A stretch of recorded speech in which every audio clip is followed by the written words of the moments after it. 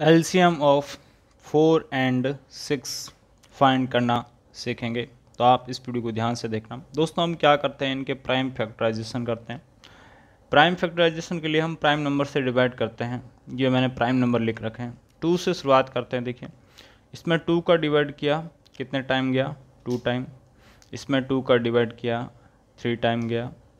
Divide कैसे करते हैं वो तो आप जानते हैं। ठीक है कंप्लीट डिवाइड होना चाहिए।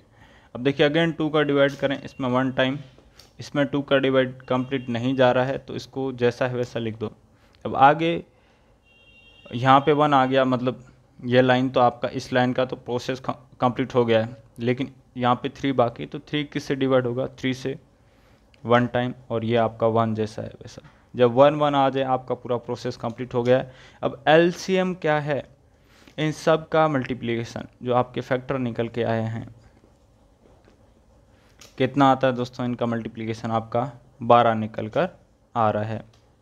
कैशी लेकेड बाई सुरेंद्र खिलेरी